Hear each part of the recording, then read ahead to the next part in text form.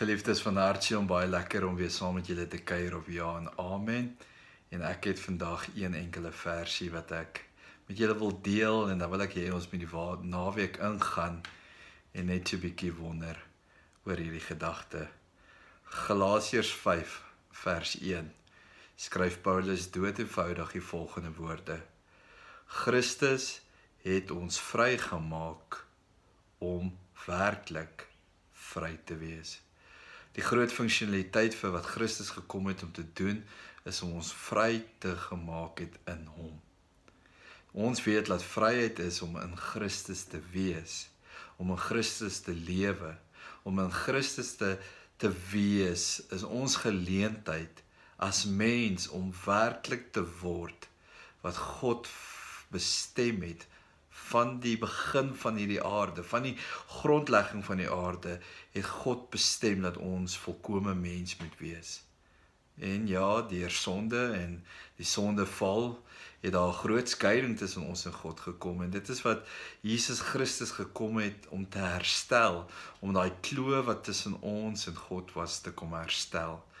Hy het kom herstel dat ons dat hy die prys vir ons sondes kom betaal het sodat ons kan lewe 'n lewe in oorvloed hê, dat ons kan vry wees in Christus, dat ons kan vry wees om die volkomme mens wat hy vir ons bestem het om te wees, om dit werklik te word. En Paulus kom en hy sê hierso, Christus het ons vrygemaak om werklik vry te wees.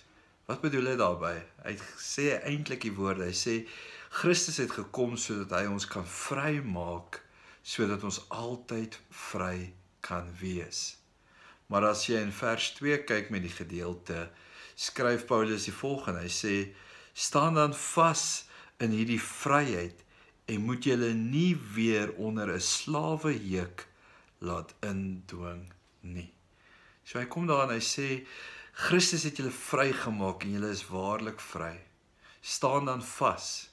Moenie laat iemand julle weer onder 'n slawe juk indwing nie." Daai slawejuk kan kan 'n verskeidenheid van van dinge wees. Dit kan wees om weer te verval in sonde. Dit kan wees om om nie vas te hou aan die waarheid wat Jesus Christus is nie, maar om weer 'n 'n waarheid te glo en en jouself weer 'n slaaf te maak van 'n sekere reëls en en regulasies wat nie Christus behaag nie. Kom ons gaan hierdie naweek in. En kom ons wonder 'n bietjie, is ons werklik vry? Christus het ons dalk vrygemaak, maar ons moet deur ons lewe gaan en seker maak dat ons vry in Christus lewe, dat ons in sy waarheid lewe en nie in ons eie menslike opgemaakte waarheid nie.